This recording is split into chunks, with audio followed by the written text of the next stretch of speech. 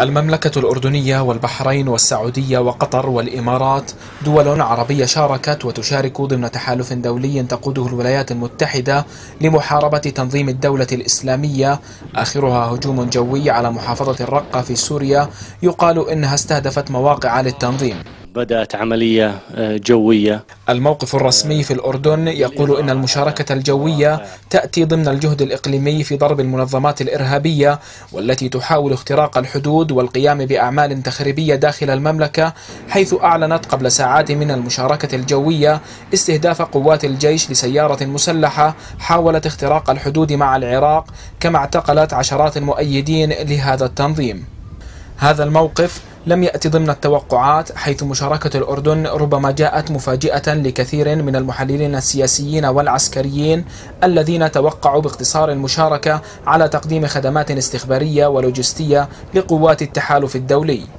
مشاركة الأردن عسكريا تأتي وسط هواجس ومخاوف تتشكل بحسب محللين ومراقبين في ردة فعل تنظيم الدولة داخل أراضي المملكة ما يشكل تهديدا أمنيا داخليا خاصة بوجود بعض أتباعه ومناصريه في الأردن.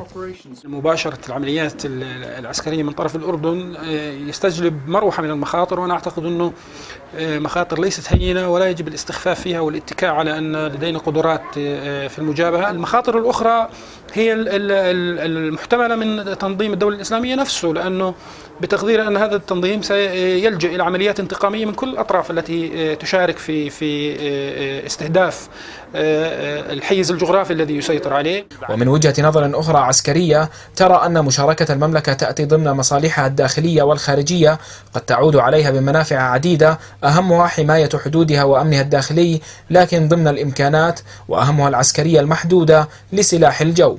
إذا أخذنا الأردن ببساطة الآن مصالحه الاستقرار في الإقليم مصلحة وطنية أردنية. يجب أن يكون مستقر الإقليم ملتهب. إمكانيات أكثر من هيك؟ أنا لا أتصور أن يطلب منا. يمكن حتى أنا شخصيا لو كنت في موقع اللي بنصح الناس أو في موقع اللي ممكن يشتركوا في عملية التخطيط أنا بقول لهم إحنا والله رايحين نقول إحنا معكم لكن لن ليس لدينا قدرة أنه سلاح الجو تبعنا صغير وما عندناش قدرة أنه نتحمل نخسر طائرة في, في, في, في مجال الجوي لسوريا أو في المجال الجوي للعراق.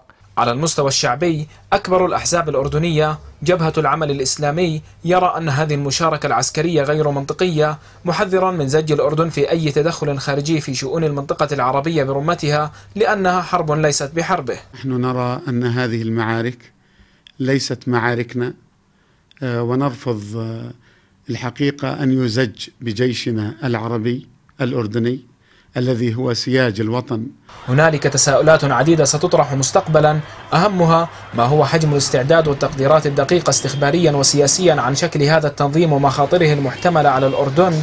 وهل يتراجع الأردن عن موقفه بالتدخل العسكري؟ ويبقى في المشاركة الرمزية استخباريا أم تزداد نسبة المشاركة في المستقبل الذي لا أحد يستطيع التنبؤ به في ظل انقسام وتعقيد سياسي وعسكري تشهده المنطقة؟ مصعب الشريف اليرموك. انظر أيها العالم.